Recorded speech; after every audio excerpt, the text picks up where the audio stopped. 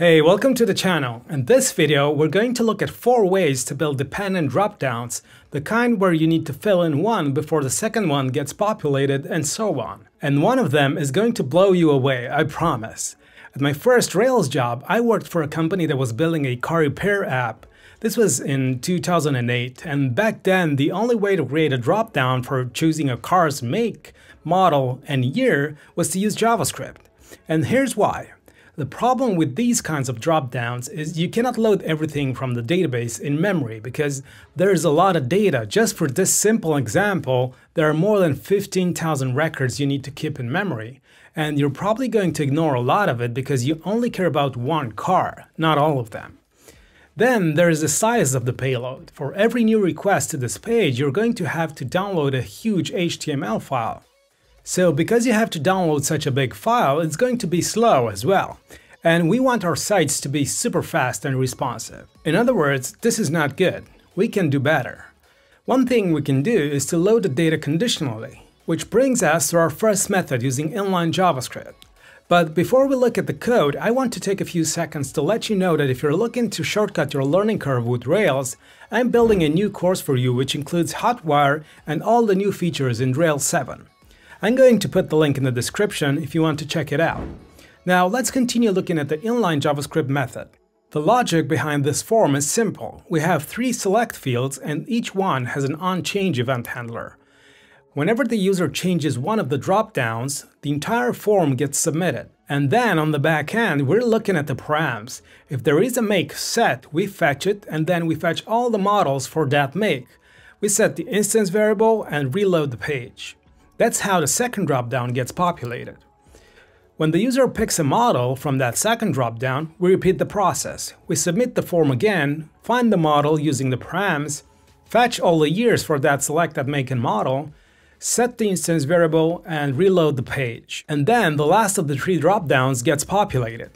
Finally, when the user picks the year, we submit the form again, find the year, set the instance variable, and reload the page. But now we also display a message because the year instance variable is set. And every time we find one of these attributes, we pre-select it in its respective dropdown so it doesn't reset.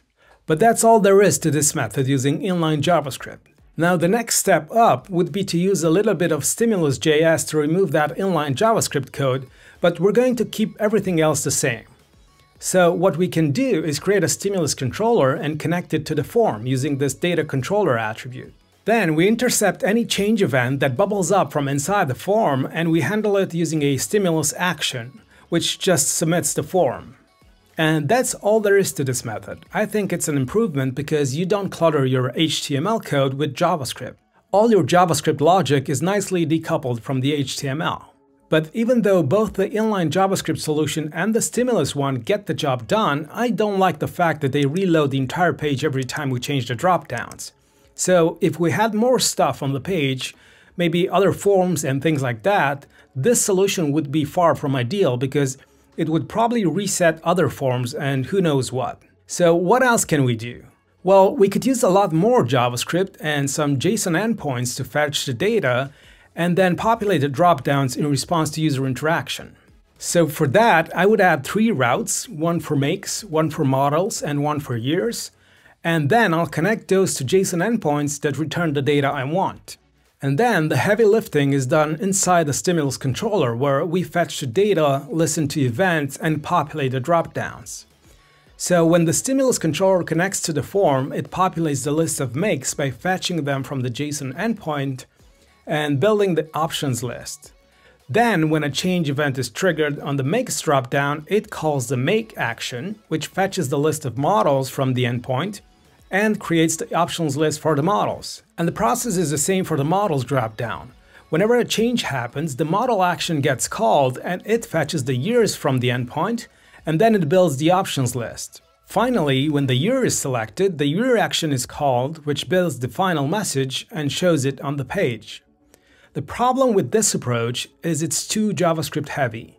And to me, the purpose of Hotwire is exactly the opposite of that to get rid of unnecessary JavaScript and build apps faster than you would if you were to do it with JavaScript.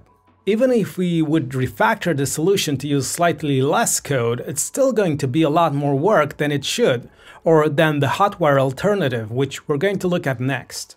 So I left this for last because I think it's amazingly simple. It builds on the second solution where we still submit the form via the stimulus action, which is just one line of code, and then the only thing we need to do is wrap the form in a turbo frame tag. That's it. Everything else stays the same, so we don't care if there's more stuff on the page because this solution won't affect the other elements, just the frame. I hope you enjoyed this video and I also hope you can see what Hotwire is going for. To me, it's an escape from the crazy world of single page apps and an amazing productivity tool for solo developers and small teams to build very responsive applications super fast. If you want to see more videos like this, check out my Hotwire playlist which I've linked in the description below. Bye!